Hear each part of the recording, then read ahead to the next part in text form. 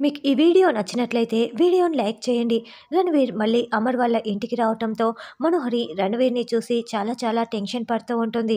అప్పుడే అమర్ రణవీర్తో రణవీర్ మీది కోల్కతా కదా? అని అనడంతో అవును జీ అని రణవీర్ అంటాడు.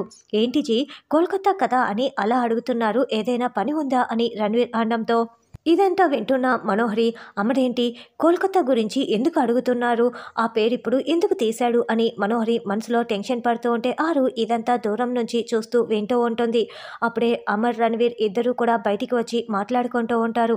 చూడు రణవీర్ నాకు కోల్కతాలో ఒక చిన్న పని ఉంది. అది మీరే చేసి పెట్టాలి. నాకు ఒక చిన్న ఇన్ఫర్మేషన్ కూడా ఉండాలి. తను ఎవరు ఏంటి అనేది నాకు ఏమీ తెలియదు కానీ ఒక చిన్న ఐడెంటిఫికేషన్ మాత్రమే నా దగ్గర ఉంది. అక్కడ మదర్ తెరీసా ఆశ్రమం ఉంది కదా అది మీకు తెలుసా అని అమర్ అడుగుతూ ఉంటే అదేంటి మదర్ తెరీసా ఆశ్రమం కోల్కతా ఇదంతా కూడా అమర్ ఎందుకు అడుగుతున్నారు? అని మనోహరి బాల్కనీలో నుంచి నిలబడి కింద నిలబడి మాట్లాడుకుంటున్న వీళ్ళిద్దరి మాటల్ని వింటూ ఉంటుంది. తెలుసు జీ చెప్పండి జీ మీకు ఎటువంటి సహాయమైనా చేస్తాను అని రణవీర్ అంటాడు.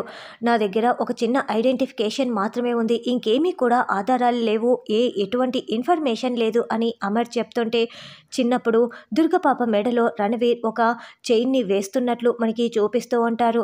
అంటే అంజుని దత్తత తీసుకున్నప్పుడు కూడా ఆ చైన్ అంజు పాప మెడలో ఉండి ఉంటుంది. ఇప్పుడు ఆ చైన్ని రణవీర్కి అమర్ చూపించగానే రణవీర్ ఎలా గుర్తుపడతాడు? అసలు అమర్ ఇప్పుడే చూపిస్తాడా లేకుంటే నిదానంగా చూపిస్తాడా అన్నది రానున్న ఎపిసోడ్లో తెలుసుకుందాం.